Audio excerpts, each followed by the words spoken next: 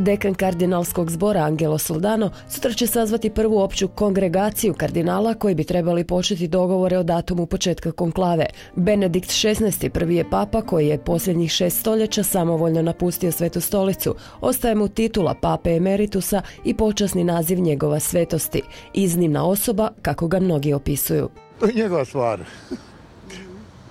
Mislim, nema ništa protiv. Nema nikakvog utjecaja na Nema, nema ništa protiv ni da je ostao ni što je otišao. Normalno čovjek valjda osjeti da ne može više obavljati tu dužnost, neko drugi će ga naslijediti, dobro. Pa je, ali doći najvjerojatnije drugi čovjek. Vjernica sam i žao mi je, ali star je i svjesan je toga što je, mislim da je star da ne može voditi tu, tu crkvu. Papina ostavka postala je službena večeras u 20 sati, a Sveta stolica prazna je do izbora novog pape, jednog od 115 kardinala, koji će već idući tjedan dogovarati datum konklave. Ugledni teolog dr. Ivica Raguš, profesor Đakovačkog katoličko bogoslovnog fakulteta, sinoć je u katehetskom centru govorio na temu Papa teolog i crkva danas, naglašavajući njegov veliki utjecaj u vremenu u kojem je obnašao dužnost. Uz neke druge teme, ovaj papa je e, također pokazao da je kršćanstvo religija koja priznaje grijehe. Evo, mi se nalazimo u korizmi i koji puta i kršćan ili ne samo kršćan bježe od priznanja vlastitih grijeha.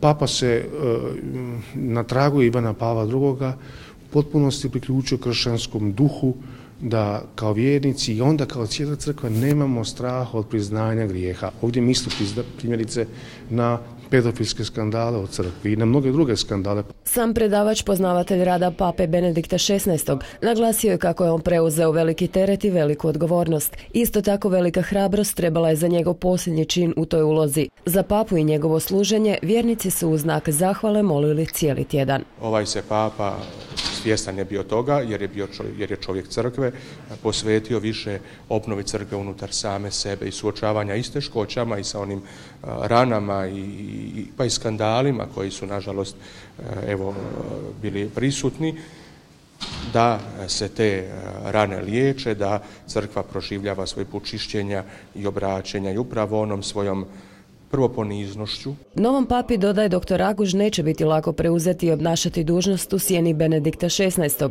Ne isključuje mnoge stvari, pa i moguće poteškoće. Ali može nositi određenu problematiku. Primjerice, može se crkva podijeliti na dva dijela. Oni koji će biti za Benedikta XVI. a neki mogu reći evo mi smo za novoga papu jer novi papa je e, stavio neke nove naglaske i tako dalje. Dakle, može, mogu nastati određene poteškoće, ali kako je papa sam rekao, e, sadašnji Benedikt XVI. E, Krist vodi crkvu. Početak konklave još se ne zna, no pretpostavlja se kako će konklava biti i prije 15. ožujka.